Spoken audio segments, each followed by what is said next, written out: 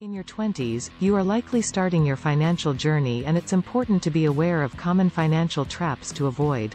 Here are some to keep in mind. Credit card debt.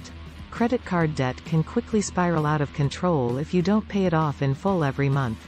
Avoid using credit cards for impulse purchases and aim to pay off your balance in full every month. Lifestyle inflation. As your income grows, it's easy to fall into the trap of lifestyle inflation and spend more money on non-essential items. Stay mindful of your spending and avoid increasing your expenses just because you have more money. Not saving enough. It's never too early to start saving for the future. Even small contributions to a retirement account or emergency fund can add up over time.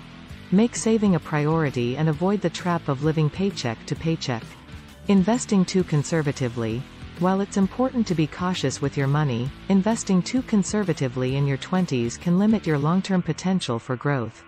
Consider a balanced investment portfolio that includes a mix of stocks, bonds, and other assets. Not shopping around for the best deal.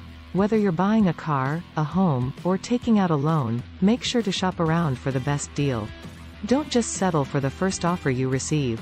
Not having a plan for student loan debt, Student loan debt can be a major burden, so it's important to have a plan for paying it off.